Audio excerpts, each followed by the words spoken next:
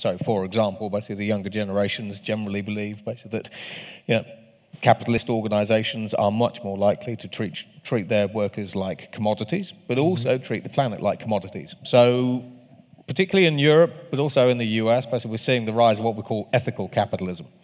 Now, ethical capitalism is, isn't new. Basically, it's been around for hundreds of years. Basically, organizations like Mars basically have actually sort of embraced it wholeheartedly.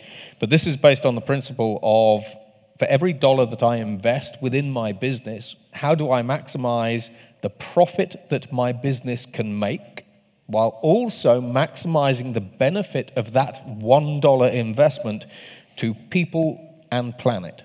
whether those people are within my business or external to my business, so communities, for example. I, I represent organizations that have about $50 trillion worth of assets under management, so organizations like BlackRock, UBS, Citigroup, Legal and General, those kinds of guys. And when we actually have a look at ESG, from an investment perspective, investors basically are now generally staunchly investing in organizations that are able to demonstrate that they have strong purposeful ESG credentials, proper reporting and monitoring strategies, and so on and so forth in place.